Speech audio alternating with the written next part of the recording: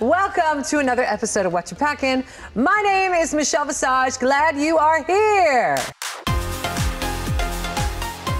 Today we have Mercedes Iman Diamond. Hi, Michelle. Hi, Lovey. Where are you from? I'm from Minneapolis. Minneapolis. Yes, Minneapolis, Minnesota. Which means a lot to so many of us pop music freaks and junkies. And, Yes. you know, the whole Prince and Yep.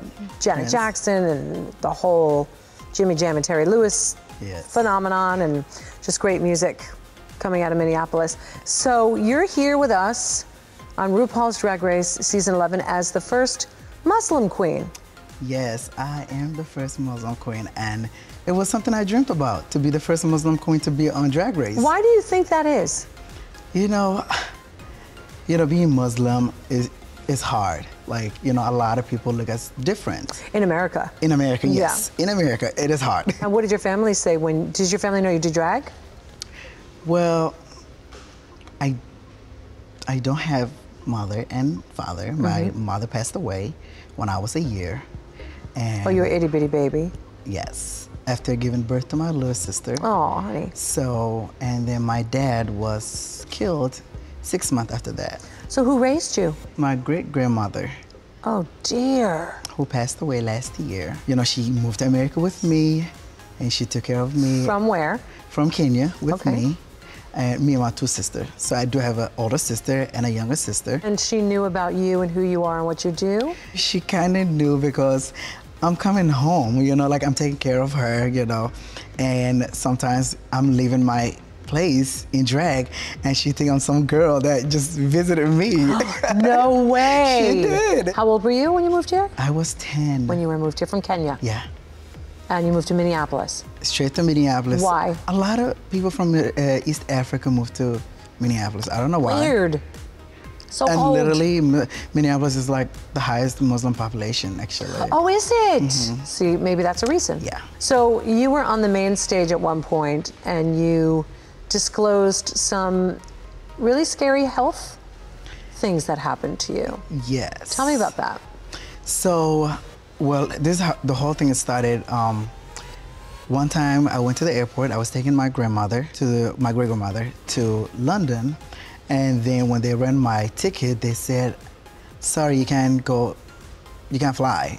And I'm looking at them like, "What do you mean I can't fly? What is going on? What's the problem?" And the lady was like, "Give me a second. and she left.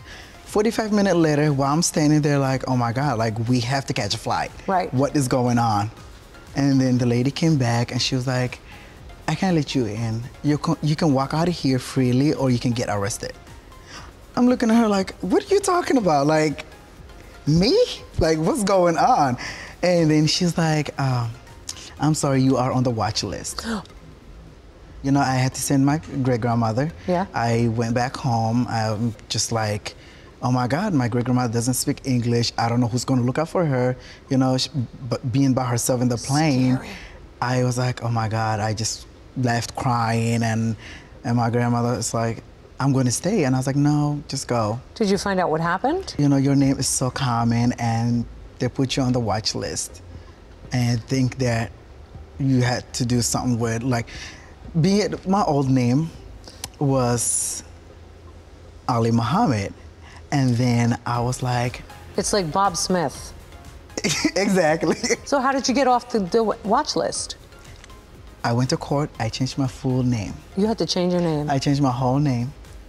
oh, you poor Trust thing. me, once I changed my name, I was free to Yeah, but it fly still shows you how up this Oh system yeah. is. Oh yeah, it was crazy. When I got sick was because I could since I couldn't fly everywhere and I was going through all that. I was driving every state, like doing shows back to back. I'm a manager at a bank, so I'm working seven days. So literally. day job and night night job. Seven days. There was like I would come home at like five in the morning, take a couple hours sleep, get ready for work at the bank, and I did had a uh, stroke. Yeah, because you were not treating your body right. Yes, my body just said, okay. So what happened? Did you wake up one morning and you couldn't move? What happened? Where it were you? It happened while I was driving. Oh my gosh. So I was driving from Milwaukee to Minneapolis. It happened, and I pulled over, and I was like, "Oh my What god!" What did you feel? I just like literally, I was just like going. While I was driving, my whole body was just like slowly. I was holding the steering wheel, my hand just fell, and I'm just like shaking. I was like, "What is going on?" And I just pulled over, and I couldn't move my foot. It was scary. The whole right side. Mm-hmm. A week after that, I had a second one. Oh my gosh. And At the hospital, or were you home already? This one, I was home. Okay. So, and then this time, I am on a wheelchair. I couldn't even walk. Oh my gosh. And I was like, "Oh my God." You poor thing. But look It at you just- now. it Look at you sucks. now. Like you know, I was like, why? What did I do? Right. You know, like so after you got off of this whole drama of the you're in the do not fly list for doing nothing, just for having the wrong name, and you're just trying to make ends meet by working two jobs, that you drove your body into a stroke. yeah, Not just one, but two. What did you do to get strong? focus my body. Don't overwork. I was like, I'm done. No more traveling. I Taking better care of oh, yourself? Oh, yeah, absolutely. Getting enough rest. And exercise, Exercising. water. Yes, eating healthy food. Good. so I'm back. I'm back, and I was like, And do you oh have to see a neurologist and I to did. stay on top of yes, everything? I did everything. I'm back to Mercedes. I think the story, the moral of the story that I got from that, because I think each one of us has been connected to hardships in some way. You've been through a lot. It wasn't just driving yourself. I think you had a lot of emotional baggage, and that's how it manifested and released. So I think kids that are watching it that have their own emotional baggage or you know think they can't get through something because a lot of people watch our show when they're sick or they're in hospital or something this is um, a big wake-up call and a help for them Yeah. to see that you came through and not only came through you're up on RuPaul's Drag Race Oh my God. looking beautiful Dreams do come true. dream to come true not only being the first Muslim queen but being somebody who's come back from not so good circumstances. Oh God, yeah. yeah. can we talk two seconds about your gorgeous outfit you have? Yes, yes. Let tell me start with this beautiful one with this hat and this You know, gorgeous. Do you make your items? Some of them, and Okay. not all of it. Okay. But I know how to sew. Okay. I had. That's the first thing I was like before I audition. I need to learn how to sew. Good 'cause I do not want to go there, and you know, the first you know episode might be, oh, you gotta do some sewing. Yep. Oh, girl, I do not want to go home. You know we love a design challenge. yes. So the Mercedes is known for like, you know, jackets, you know, showing legs. She's short, you know, but she likes to show some skin. So covering the whole body is not her tea, but her signature look is jackets, hats. Love a jacket. You know, choker, you know, belts. So this is kind of like an S and M harness, Yes. almost like an usherette or band majorette or something. Yes. Right? Oh my God, yes. Very beautiful. And then I wear breastplates and those uh, the belts that come down covers right on the nipple. Ooh. So it's just like you just see breast, you know, titties right there. Titties everywhere. yes. I love it.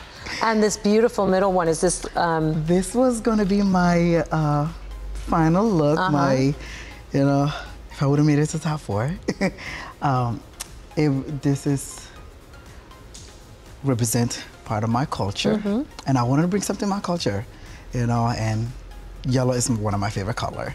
Beautiful on your skin tone. Oh, thank you, I love it. And is this traditional Kenyan? Because this N- looks like this is- Indian. Yes. Okay. So my grandparents are from Yemen. There you go. So, you know, Yemen. We've got a lot of multicultural God, stuff yes, going It's all mixed up. I love it. and pretty much they do the same thing. And I was like, you know what? I'm definitely going to use this one. I love it. And that's a beautiful color for you. You. And this one on the end is really sassy. Oh, thank you. Very Vivienne Westwood Oh, moment. God. Yeah. I. He has the gloves. I totally forgot the gloves, but you know what? That's okay. the beauty is you can wear these wherever you want. Oh yeah, except that one.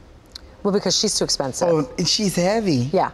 Oh yeah. That's one suitcase alone. oh God, yeah. You save her for those special moments, and you'll Oh, know when. absolutely. You'll know Yes, when. You know what I mean? absolutely. Mercedes Iman Diamond, you are a joy. Thank I you. can't thank you enough for being so honest Thank and transparent and and telling your story and helping some kids out there. Thank I you. appreciate it. I appreciate your strength, your journey, everything that you've been through is for this moment for you to share and help. Thank you. Thank, Thank you, you, sweetheart. So and on social media, Mercedes Iman Diamond. Mercedes Iman Diamond. Yes. There you go. African princess, honey. Amen.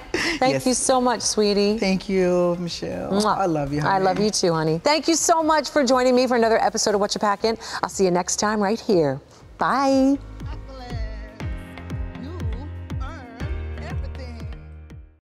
Hey beauties, it's Sasha Velour, the winner of RuPaul's Drag Race Season 9. Do you want all the hot drag race tea? Then you better subscribe to VH1's YouTube channel, and you'll have all the fresh videos sent directly to your inbox. Now that's something not to joke about.